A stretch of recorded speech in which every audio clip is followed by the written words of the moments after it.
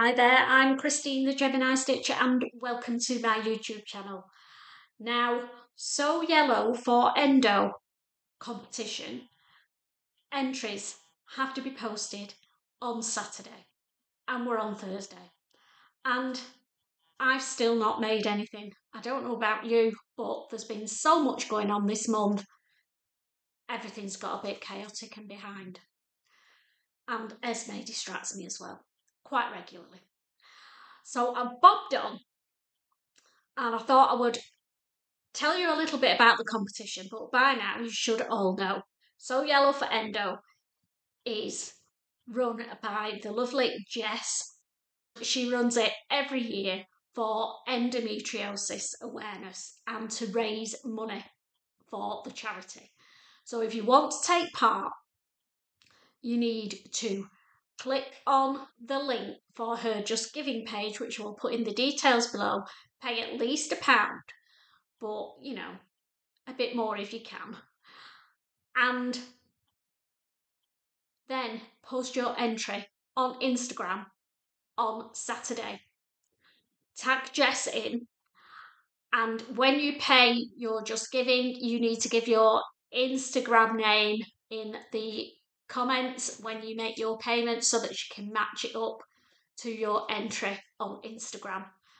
And then you'll go into the draw to win some amazing prizes. And we all love winning prizes, don't we? So, yes, we are on the last minute. I know. I've got three days to make, you know, because I like making more than one garment. So I've had a little look in my wardrobe, found some inspiration patterns that are quick makes, quick makes.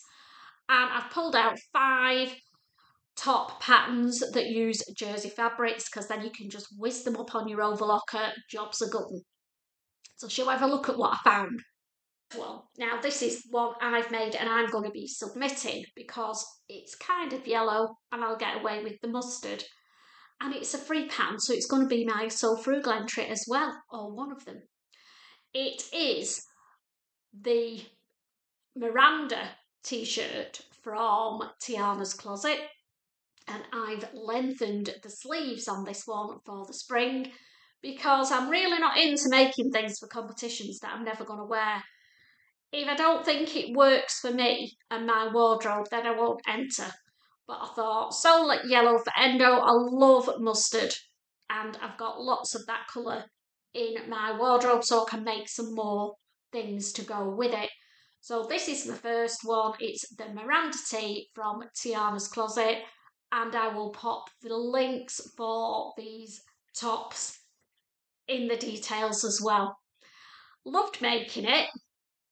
Made it in a couple of hours played around with the stripes as well. I think the longest time was cutting it out because I wanted to do a bit of pattern matching on the stripes and play around with them.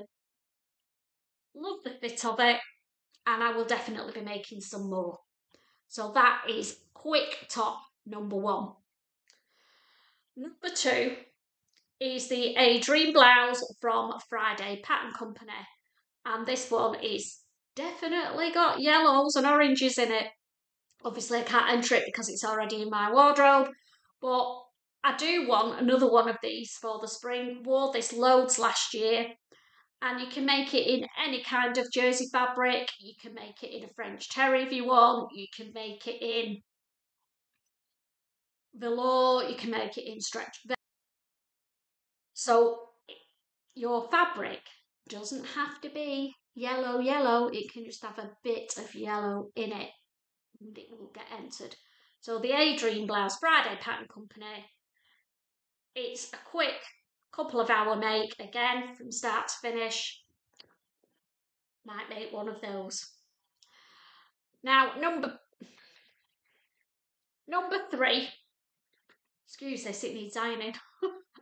has been in my wardrobe for oh, since lockdown started. It was one of the first tops that I made in lockdown.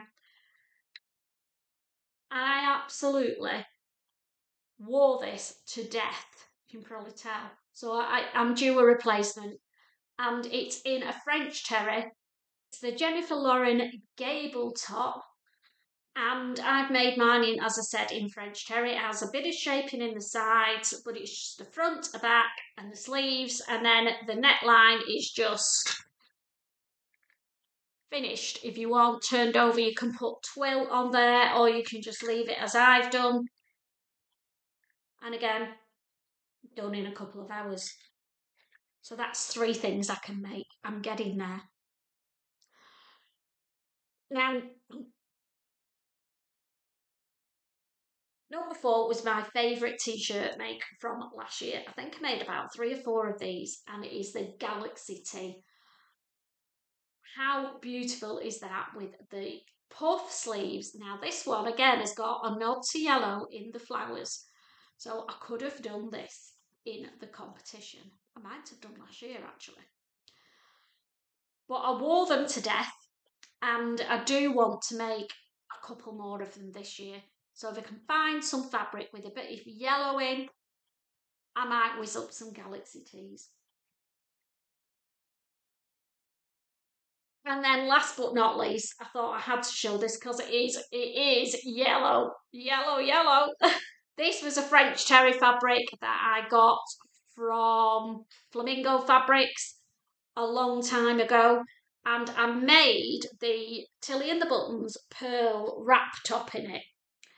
Now, this takes a bit longer than the others because of just the amount of sewing, but it's easily doable in an afternoon or a day max from cutting out to sewing to done.